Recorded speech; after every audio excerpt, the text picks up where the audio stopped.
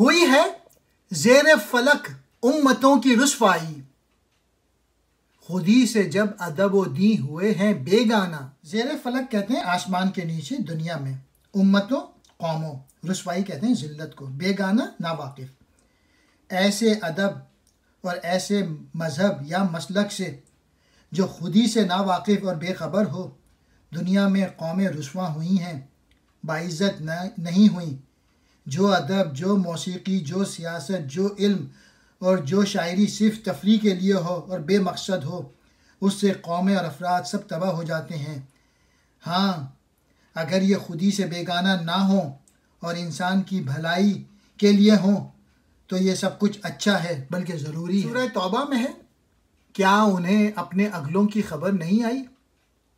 नुह की कौम और आद और समूद और इब्राहिम की कौम और मदियन वाले और वो बस्तियाँ के उलट दी गईं।